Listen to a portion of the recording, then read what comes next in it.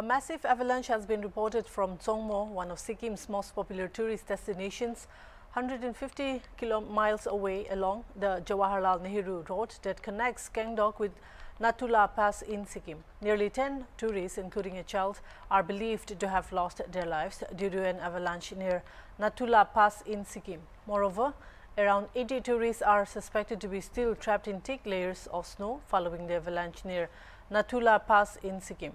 The avalanche reportedly struck the area at around 12.30 pm on Tuesday. At least six persons are confirmed dead and they succumbed to their injuries after they were rescued and admitted to a nearby army hospital. According to reports, the six victims include four men, one woman and a child. Around 40 tourists have been reportedly rescued thus far and are stated to have suffered grievous injuries. More details awaited. The Sikkim police from the capital city of Gangtok along with a team from the National Disaster Response Force and volunteers have been mobilized for the rescue operation. It is estimated that there may have been more than 150 tourists in the area when the avalanche hit. Tourists were on their way on foot when the incident triggered.